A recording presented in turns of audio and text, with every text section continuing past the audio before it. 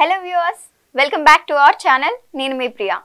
ప్రస్తుతం రెండు తెలుగు రాష్ట్రాల మధ్య ఉన్న రాజకీయ పరిస్థితుల గురించి ఈరోజు మనతో మాట్లాడడానికి the senior journalist and cine critic Immandi Ramarao గారు ఉన్నారు. ఆయనతో మాట్లాడదాం. నమస్తే సార్ నమస్తే ప్రస్తుతం జనసేన పార్టీ గోదావరి జిల్లాలో దూసుకెళ్తుంది సార్ ఇది ఇలా ఉన్నట్లయితే మరొక వైపేమో కోనసీమ జిల్లా అంటేనే పంటలకు కానివ్వండి ప్రశాంతత కానివ్వండి నిలయం అది. అటువంటి కోనసీమ జిల్లాలు ఇప్పుడు జిల్లా పేరు వల్ల ఎన్నో ఇబ్బందులు ఎన్నో సమస్యలు ఎన్నో గొడవలు జరుగుతున్నాయి. పదమూడు జిల్లాలుగా ఉన్నదాన్ని ఇరవై ఆరు జిల్లాలుగా చేసి ఇరవై ఆరు జిల్లాలుగా ఉన్నదాన్ని కోనసీమ అని పేరు పెట్టారు. అది అక్కడితో ఆగలేదు. మళ్ళీ దానికి అంబేద్కర్ గారు పేరు పెట్టాలనేసి అన్నారు. దానికి జనసేన పార్టీ వాళ్ళు కూడా మద్దతు ఇచ్చారు. అయితే ఇప్పుడు మళ్ళీ కాపు కాపు వర్గాలు కానివ్వండి దళిత వర్గాలు కానివ్వండి జనసేనని పార్టీకి దూరం చేయాలనేసి వైసీపీ నేతలు ఇలాంటి సామాజిక వర్గాల మధ్య గొడవలు పెడుతున్నారనేసి ఒక ఆరోపణ వినిపిస్తుంది సార్. ఇక్కడ మనకి ఈ వైసీపీ రాజకీయం విచిత్రంగా ఉంటుంది. ఏదైనా ఇష్యూ ప్రజల్లోకి వచ్చి బాగా ఫోకస్ అయినప్పుడు ఆ ఇష్యూని మరిపించడం కోసం మరో ఇష్యూ తీసుకురావడం అన్నమాట అంటే అది చిన్న అంటే పెద్ద గీత దగ్గర చిన్న గీత అయిపోతుంది. ఒక సంచలనం.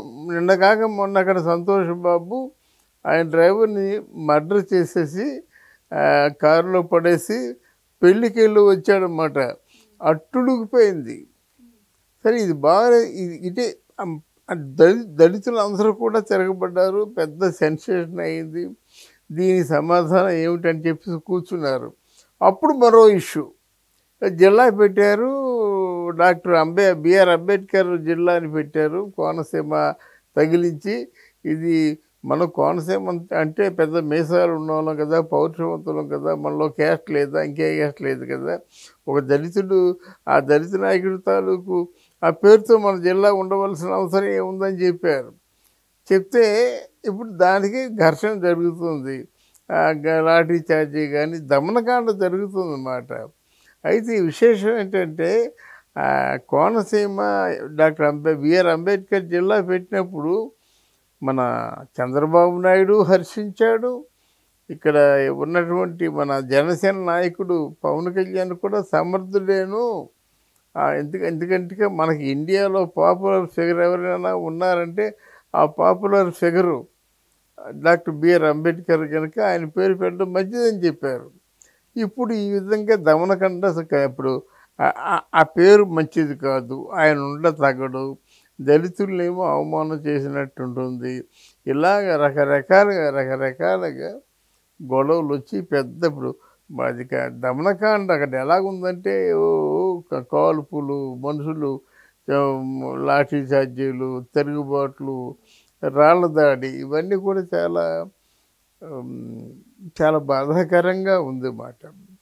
ఆల్రెడీ అంబేద్కర్ అనేసి పేరు పెట్టేశారు సార్ అంబేద్కర్ కోనసీమ అని పెట్టేసిన తర్వాత ఇప్పుడు మళ్ళీ అంబేద్కర్కి మళ్ళా కాపు వర్గాలకి సంబంధం ఏంటి పేరు మార్చాలి. పేరు ఏదైతే ఏదైతే ఏముంది మన కోనసీమ? లేదమ్మా ఇక్కడ మీకు రాను రాను మన ఆంధ్రప్రదేశ్లో రాజకీయ ముఖ చిత్రం మారిపోతుంది. అంటే సమస్యని సృష్టించిన వాళ్ళు వాళ్ళే. సమస్యని సమస్యని పరిష్కారం చేసే వాళ్ళు కూడా వాళ్ళే. అందుకే రాజకీయం తాలూకు ముఖ చిత్రం మారిపోతుంది అన్నమాట అంతకుముందు ఎవరో సృష్టించే వాళ్ళు పాలకవర్గం వచ్చి దాన్ని సముదాయించేవారు సరిచేసేవారు ఇప్పుడు అలా కాదు. పాలకవర్గమే సృష్టిస్తుంది. గొడవలు సృష్టించడం కానీ ఏమి సృష్టించడం కానీ కేవలం జగన్ వర్గమే సృష్టిస్తుంది. మళ్ళీ జగన్ వర్గమే ఇది ఇంకొకరు సృష్టించారు. మా పరిపాలన బాగలేక మా పేరు వస్తుందని చెప్పి ఓర్వలేక ఇది తెలుగుదేశం వాళ్ళు సృష్టించారనో మామూలు జనసేన సైనికులు సృష్టించారనో తిరిగి తిరిగి తిరుగుబాటు చేస్తుందన్నమాట. అది ఇక్కడ ట్రాజిడీ. మాట్లాడాల్సిన ఇంకొక విషయం ఏంటంటే సార్ అంబేద్కర్ పేరు పెట్టమని రైస్ చేసింది కూడా ముందు వైసీపీ నేతలే. అప్పుడు జగన్ అది మన జనసేన పవన్ కళ్యాణ్ గారు మద్దతు ఇచ్చారు పెట్టండి అనేసి. ఇప్పుడు మళ్ళీ ఈ పేరు ఎందుకు అసలు ఆ యువతకి వీళ్ళకి సంబంధం ఏంటి? కాపు వర్గాలకి వీళ్ళకి సంబంధం ఏంటి? మనం సర్దార్ పటేల్ అని పెడదామని రెచ్చగొట్టేది కూడా ఇప్పుడు వైసీపీ నేతలే. చెప్పాను కదా ఈరోజు ఏదో ఒక ఇష్యూ కావాలి. సర్దార్ వల్లభాయ్ పటేల్ అని చెప్పేసి అక్కడ మోడీ ఒక ఎలిగేషన్ తీసుకొచ్చాడు. నాలుగు వేల కోట్లతో ఒక విగ్రహాన్ని అక్కడ నిర్మించాడు. ఆ విగ్రహం దగ్గరికి ఎవరైనా వెళ్తున్నారా? పోనీ ఏదైనా టూరిస్ట్ స్పాట్ కింద చేశారా? ఏమీ లేకుండా ఒంటరిగా దిక్కుమాల వాళ్ళలాగా సర్దార్ వల్లభాయ్ పటేల్ ఆ కాకులో లేకపోతే పెట్టెలో తల మీద ఉండి రెట్టలు వేయడం తప్ప అక్కడ ఏమీ లేదు కదమ్మా. నాలుగు వేల కోట్లతో నిర్మించినట్టయితే ఏదో ఒక టూరిస్ట్ స్పాట్లా చేసిన పది మందికి ఆయన జీవిత చరిత్రలో విశేషాలు తెలిసిన బాగుంటుంది.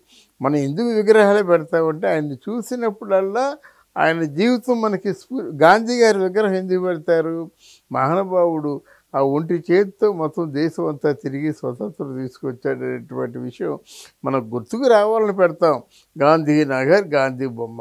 అలాగే నెహ్రూ నగర్ ఇందిరానగర్ అంటే వాళ్ళ తాలూ స్ఫూర్తికి మనం పూర్తిగా దాసోహం అయిపోయి వాళ్ళ జీవితంలో ఎంత గొప్ప అంటే ఆదర్శవంతమైనటువంటి జీవన సరళిని వాళ్ళు చేశారు.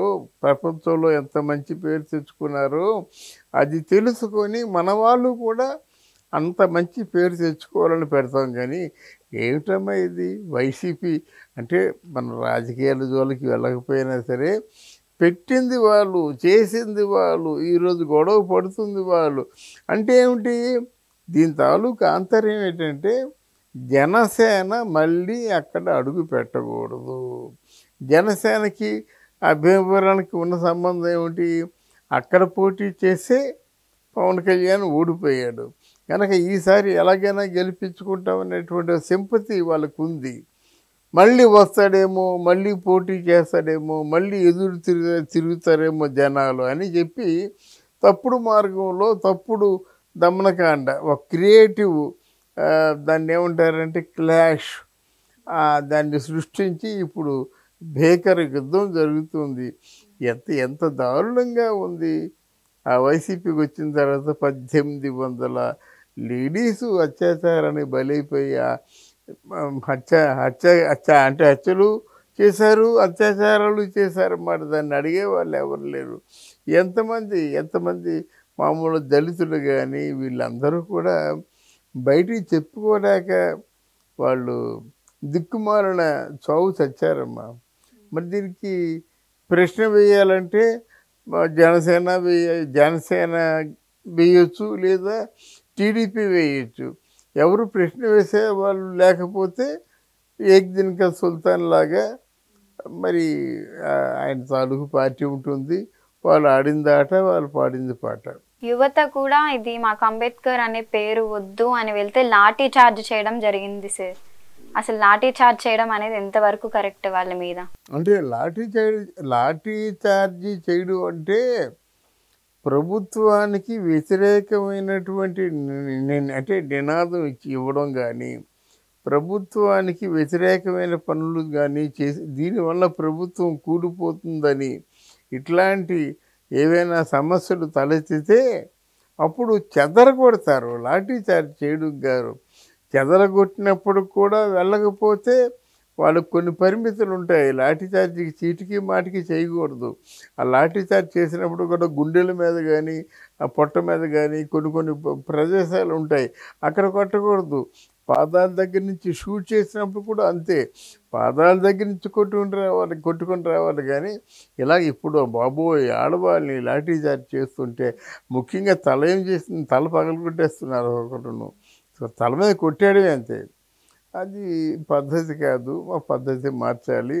అందులో మానవీయ కోణం కూడా ఉంటుంది. పద్ధతి మార్చకపోయినట్టయితే ఎంతమంది లేడీస్ బలైపోతున్నారు ఎంతమంది జెంట్స్ కూడా యూత్ కుర్రాలు బలైపోతున్నారు ముసలాలు బై బలైపోతున్నారు. ఈ విధానం మారాలి. అంటే ఇప్పుడు అంటే జనసేన పార్టీకి వ్యతిరేకంగా చేయాలని కావాలని ఇది రాజకీయ కుట్ర ఇలా గొడవలు పెట్టడం అని అనుకోవచ్చా సార్? ఇంకా ముందు ముందు చాలా ఉంటాయమ్మా. జనసేన పార్టీకి వాళ్ళకి ఎంత పేరు పెరిగితే ఇటుపక్క అంత అసూయ పెరుగుతుంది. జనసేన పార్టీకి ఎంత క్రౌడ్ వస్తే ఎంత బలం వస్తే ఇక్కడ ఈ ఈ పార్టీ అంత బలప్రయోగం చేస్తుంది అంటే జనసేన పార్టీని అష్ట దిగ్బంధం చేస్తారు. అష్ట దిగ్బంధం అంటే ఏమిటి తెలిసిన? ఎనిమిది దారులు ఉంటాయి. ఆ ఎనిమిది దారులు కూడా మూసేస్తారన్నమాట. అట్లాంటి రోజులు కూడా వస్తాయి. దానికి కూడా ప్రిపేర్ అవ్వాల్సినటువంటి అవసరం జనసేన నాయకుడు పవన్ కళ్యాణ్ ఉంది. ఎందుకంటే ఇంత ఇల్లు అలగ్గానే పండగ కాదు. ఇప్పుడు చిన్నది. ఇప్పుడు మనం చూస్తున్నటువంటి వ్యవహారం చిన్నది. కానీ తీరా ఎలక్షన్స్కి వచ్చేసరికి నాకు తెలిసి జనసేన నాయకుడిని అష్టదిగ్బంధం చేస్తారన్నమాట. వాళ్ళని తేలిగ్గా విడిచిపెట్టరు. అది. ఆ వ్యూహరచన కూడా వాళ్ళు జనసేన నాయకులు చేసుకోవాలి. Thank you so much sir thank you అమ్మా thank you thank you very much